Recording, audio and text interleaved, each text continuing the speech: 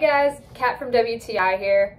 I am a huge Jurassic Park fan, so when I saw this mug, I 100% had to go and get it.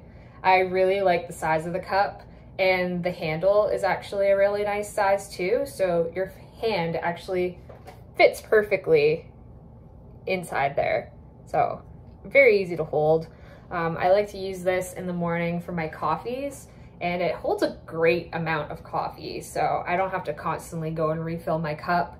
Um, it's got the Jurassic Park symbol on both sides of the mug so whether you're a lefty or a righty, it doesn't matter how you hold the mug, you're always gonna see the Jurassic Park T-Rex facing you, which is amazing. It's dishwasher and microwave safe. I like to reheat my coffee a lot. I never seem to drink my coffee really quickly, so putting this in the microwave is awesome for me.